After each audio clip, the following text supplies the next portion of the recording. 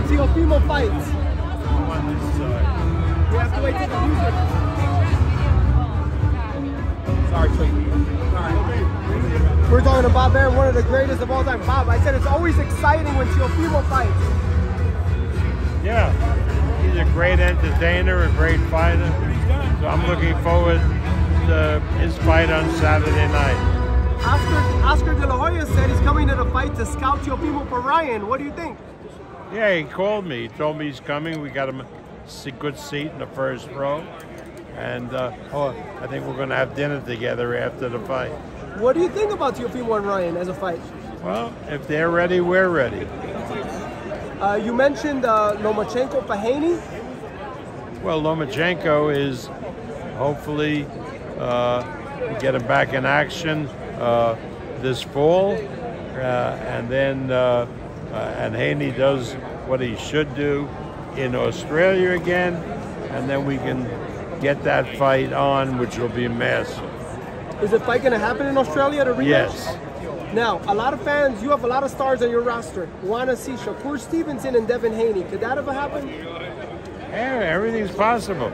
I mean, it, it's it's easier when they both fight for the same company, and then it's a question: do they want to fight each other? And you don't have to worry about the politics.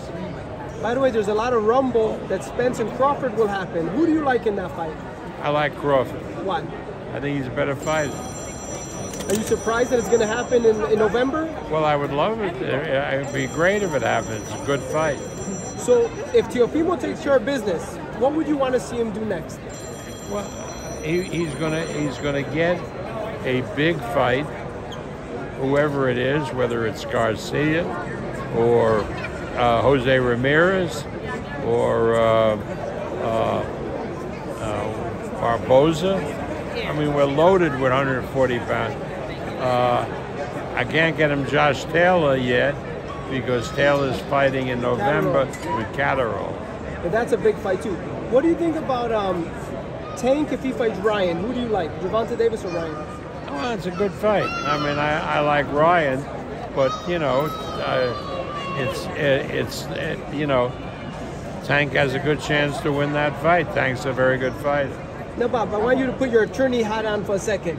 Mike Tyson and Hulu have a disagreement. They're doing his unofficial biography, and he's very unhappy with that.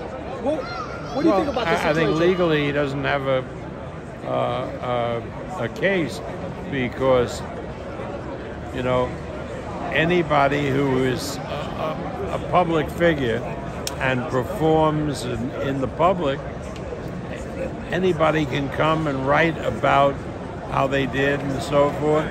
That's part of uh, our democracy. So again, I can see Mike being put out that he doesn't share in the proceeds, but it, it is what it is. Now Tyson Fury today did a new thing. He went to Iceland to look for some guy. You said you called it. Bob. You're the only one that knows him. You said Fury wakes up in the morning. What does he do? He looks to do something to bring the spotlight back to him because he's a little put out that those who follow boxing, particularly in the UK, spotlights on Usyk and Joshua, and this is my man Tyson, the great entertainer, the way to put the spotlight back on. And it works. But a Chisora fight makes zero sense, as you said. The guy lost four of his last five. He's beat him twice. Isaac Lowe is not his new coach. Listen, I love Tyson Fury, but anything he says, uh, you got to take pretty much with a grain of salt. Just the way Ali was.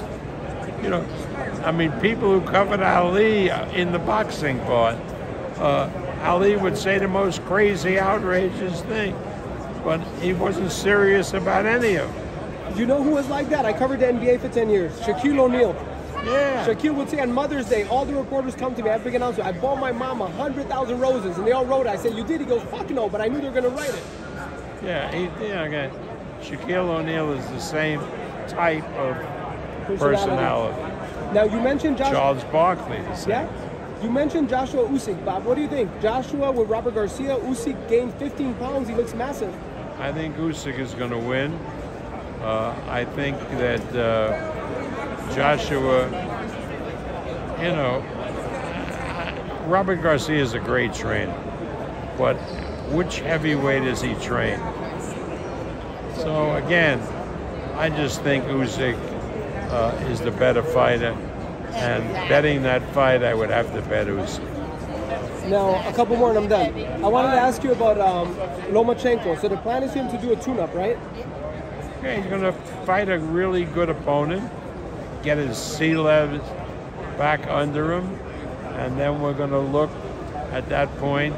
Uh, hopefully, Haney is successful.